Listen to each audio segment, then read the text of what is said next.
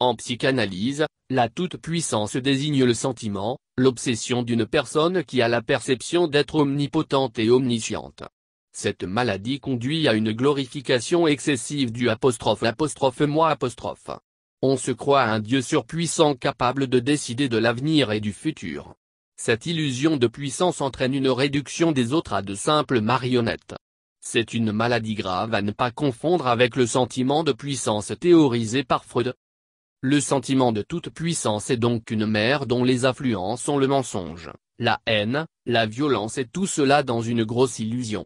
Pour parler comme l'homme de la rue abidjanaise, apostrophe apostrophe tuniant alors que tu ne déjà pas apostrophe. En zouglou, on dirait, apostrophe ceste ton caleçon qui est gros point point. C'est la conclusion à laquelle je suis parvenu après la lecture des deux dernières interviews du président sortant M. Ouattara. Dans mon cœur, il n'y avait ni haine ni colère pour lui mais juste la pitié pour un vieil homme qui a perdu le sens de la réalité et qui ment outrageusement sans s'en rendre compte. Il se berce d'illusions vivant sous l'effet de drogue dure. Parce qu'en fait, ses propos sont décousus quand ils ne sont pas un ramassis de mensonges. Illustrons notre démonstration. Dans sa névrose, M. Ouattara prétend que c'est à Marcoussis qu'il a été décidé de faire sauter le verrou de la limite d'âge et de la question du bilan médical dans la Constitution, mensonge. Voici le point 3 de cet accord relatif à cette question.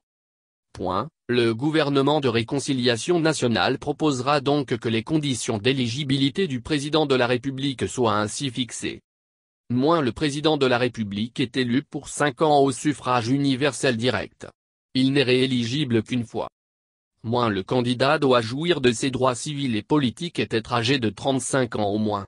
Il doit être exclusivement de nationalité ivoirienne et de père ou de mère ivoirien d'origine. Moins le président de la République rendra public chaque année son bulletin de santé. Non seulement les termes de l'accord réaffirment l'impossibilité de faire trois mandats mais ils exigent un bilan de santé annuel au président de la République. Évoquons maintenant la question de la réduction des bureaux de vote puisqu'il affirme avoir décidé de les réduire de 54%. En quelle qualité M. Ouattara décide-t-il d'une telle réduction? Le code électoral dispose pourtant clairement que, le nombre et les yeux de bureaux de vote sont fixés par décret pris en Conseil des ministres, sur proposition de la commission chargée des élections. M. Ouattara est un névrosé chronique que le sentiment de toute puissance pousse même à infantiliser les cadres qui le suivent. J'aurais été un responsable du RDR que je me serais senti blessé que mon chef affirme qu'en dehors de lui, personne ne mérite d'être président. Mais bon, on ne parle pas la bouche pleine. C'est Soro Guillaume qui a raison, M. Ouattara mérite qu'on le fasse asseoir par terre pour lui donner des conseils avant de le conduire dans un hôpital spécialisé pour soigner sa névrose. Qu'il le veuille ou pas, il a déjà perdu le pouvoir. Il suffit de regarder les rues de la capitale pour comprendre que la désobéissance civile est une réussite. S'ils sont si confiants, pourquoi envoient-ils tous leurs familles à l'étranger? Pourquoi ouvrent-ils des comptes dans les paradis fiscaux? Pourquoi M. Adjmani qui veut s'y faire partout, sa femme va se mettre à l'abri en Turquie.